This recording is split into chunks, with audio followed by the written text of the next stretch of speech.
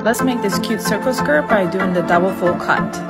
I'm using the free doll school fool pattern to make this skirt.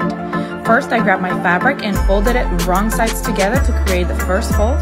Then I fold it again, fold it down to create that second fold, and place my pattern on top of the two folds.